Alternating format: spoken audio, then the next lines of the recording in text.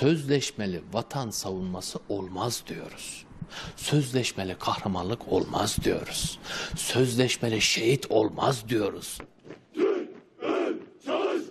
Milli Savunma Bakanlığı'ndan şu sıralar çok umut dolu bir adımın eee, geleceğini düşünüyorum.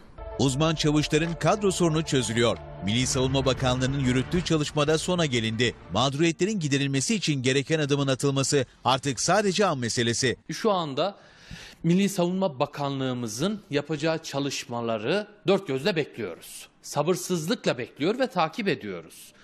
İnanıyor ve ümit ediyorum ki uzman çavuşlarımıza çok kısa süre içerisinde müjdeli bir haber verilecektir.